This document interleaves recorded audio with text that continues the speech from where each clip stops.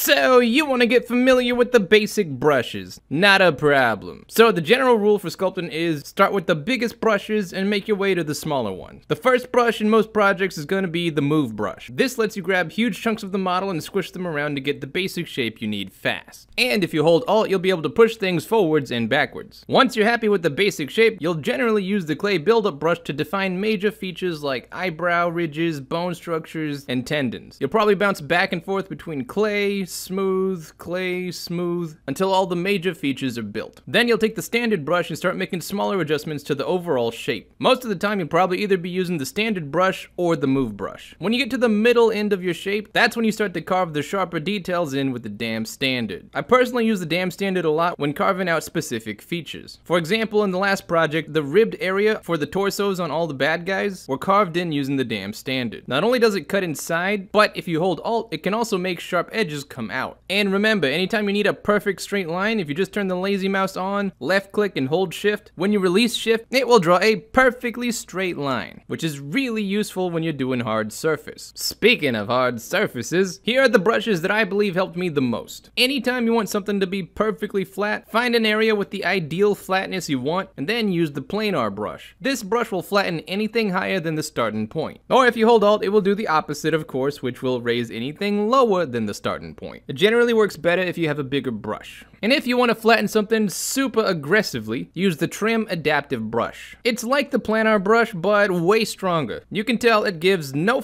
about what's in the way and flattens everything at the same height as the starting point. And last, let's say you want something to be flat, but not perfectly flat. Like there's an edge that you kind of want to bevel out. Well, that's when you would use the trim dynamic. It's not as consistent as the adaptive, but it tries to flatten things while keeping the terrain in mind. The more you scrub, the more it will flatten the surface. There are other brushes like the pinch which brings things together, or if you hold alt it will split things apart, and the inflate brush which is great for making boobs bigger or smaller. But the ones that I just covered are the brushes that I use the most. Hope that helps. And as always, hope you have a fantastic day, and I'll see you around.